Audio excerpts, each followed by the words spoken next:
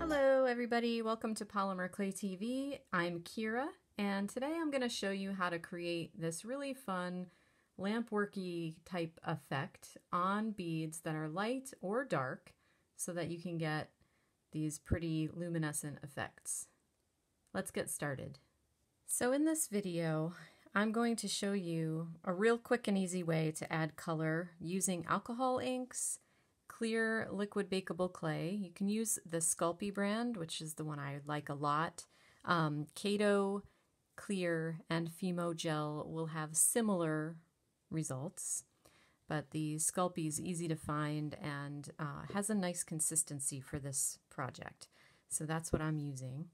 Uh, and of course my Adirondack alcohol inks. That's the brand that I like and have the most of. And this is how we're going to mix these colors. So right here I have the yellow. This is Sunshine Yellow. This one is the Flamingo Pink. This is Limeade Green.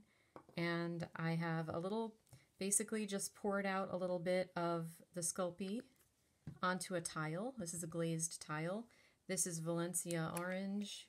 And I'm just going to put a drop. I'm going to let it evaporate for a minute. And I have a little stick and a rag handy. And I'm just going to mix the ink into the clay.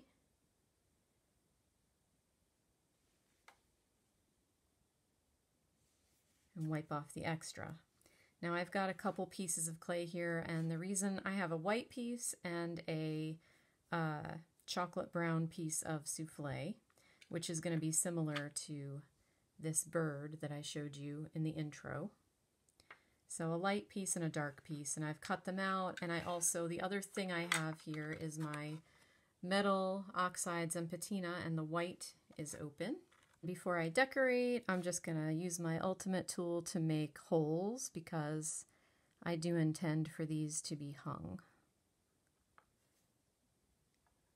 So don't forget to do hole making and cleanup and stuff before baking.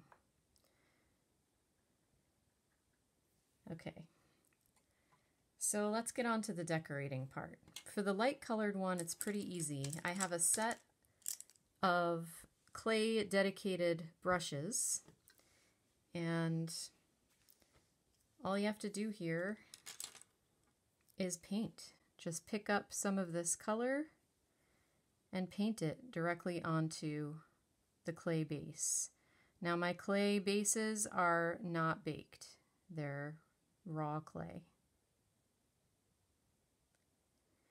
And in order to make this bead, which is a little bit more dimensional, I did this several times to build up a layer that you could see down into. So I would, I'm going to paint this and then I'm going to bake it and then probably bake it several times before I'm finished.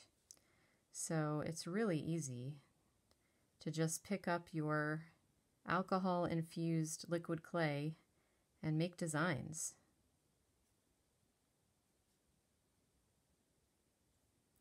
And depending on your skill with paintbrushes, you can make thin, thick, you can make something that looks like lampwork glass, you can do all kinds of fun things. You can make little designs like polka dots, You can just have fun with it. You can make borders. And because I plan to bake this multiple times, I can come back in and add color wherever I want it.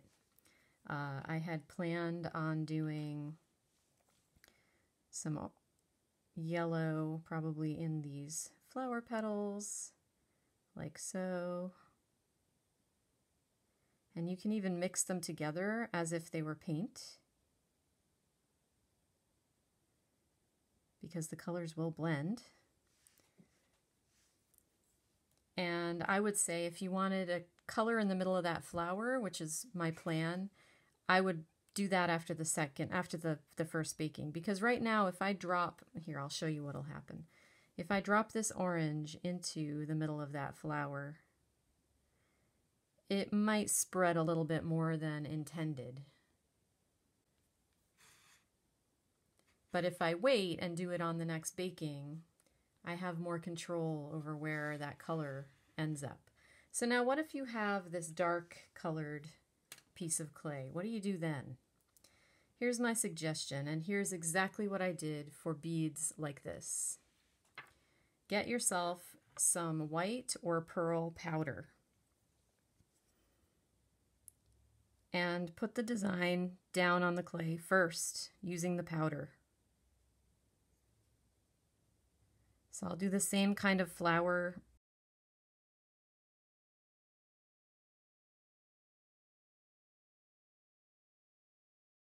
my prepared piece there and I'm just going to pick up my paints and paint right over that white area. And now my pink has the white to reflect off of in the background instead of just kind of disappearing into the brown. So that's my number one tip for you is to remember that if you're painting light colors over dark backgrounds, you want to prepare your background by having that light color over it first. Now Sculpey does make a white bakeable clay. So if you wanted to, if that's something you had on hand or wanted to experiment with that technique, then you would want to paint this area in with your white bakeable clay first, and then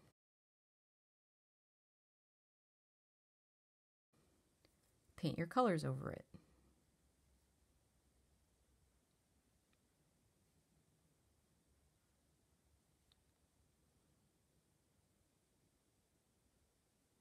See how easy and fun that is? So now my challenge to you is to go ahead and play with your liquid clay and your alcohol inks and make something fun. And why don't you come on over to Polymer Clay Tribe on Facebook, which you can find at polymerclaytribe.com, and upload what you made. I'm also giving away this pendant as a gift for someone who comments on my blog post. So come on over to polymerclaytv.com, check out all the other projects and techniques we have listed, and leave me some feedback uh, or a comment, and I'm going to pick a winner next week. Thanks for joining me, and I'll see you next time on Polymer Clay TV.